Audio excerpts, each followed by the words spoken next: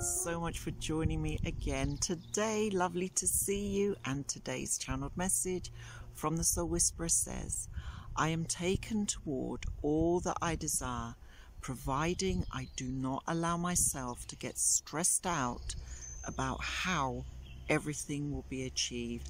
And this is a powerful message for you today, asking you not to get stressed out as part of your day. And over and above that, um, first of all, I'm going to talk a little bit about getting stressed out in general as part of your day, but I'm also going to go a little bit deeper into this stress because um, what the passage is also asking us to do is reflecting on how things are going to be achieved and getting stressed over as to knowing how.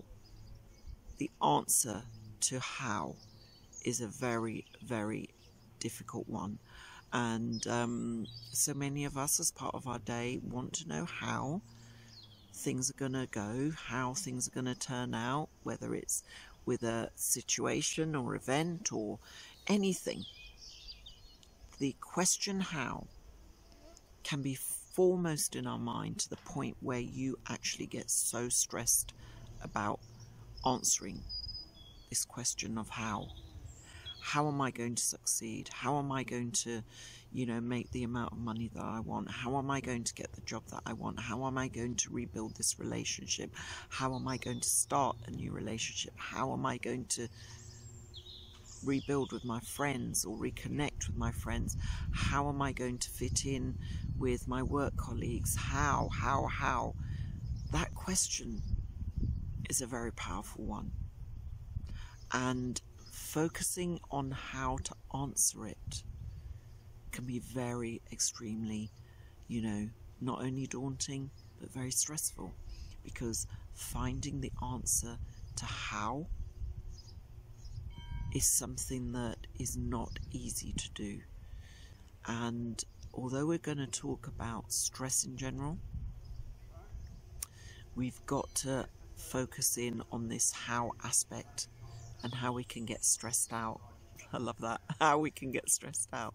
But you know what I mean. So let's talk about stress in general. Today, I want you to reflect on the things that are stressing you out. We'll come to the how bit after, but reflect on how things are stressing you out or why things are stressing you out. Let's reflect on that first.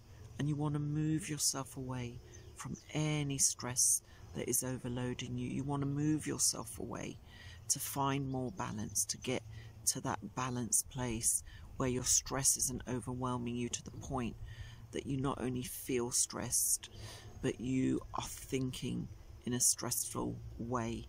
Stress is becoming the riding, overwhelming state of being. You don't want that to happen today.